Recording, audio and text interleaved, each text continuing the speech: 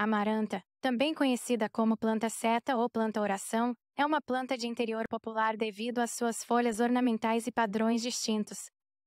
Aqui estão algumas dicas e cuidados para ajudar a manter sua amaranta saudável. Luz.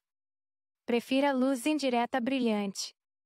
Evite a luz solar direta, pois pode queimar as folhas sensíveis. As marantas também podem tolerar condições de luz moderada, mas geralmente prosperam melhor com luz filtrada. Solo. Use um solo leve e bem drenado, como uma mistura para plantas de interior. Certifique-se de que o solo permaneça úmido, mas não encharcado. Marantas preferem solo úmido, mas não gostam de raízes encharcadas. Rega. Mantenha o solo sempre úmido, mas evite o excesso de água. Deixe a camada superior do solo secar antes de regar novamente. Regue com água morna para evitar choque térmico nas raízes. Umidade. As marantas apreciam alta umidade. Aumente a umidade ao redor da planta, especialmente em ambientes internos com ar seco.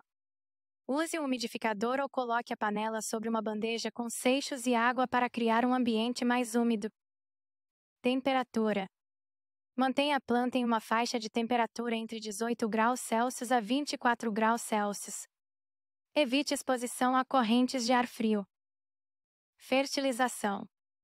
Fertilize mensalmente durante a primavera e o verão, utilizando um fertilizante equilibrado para plantas de interior.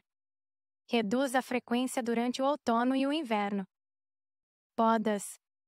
Remova folhas amareladas ou danificadas para incentivar um crescimento saudável. A pode se espalhar lateralmente e, se desejar, pode ser dividida para criar novas plantas. Problemas comuns.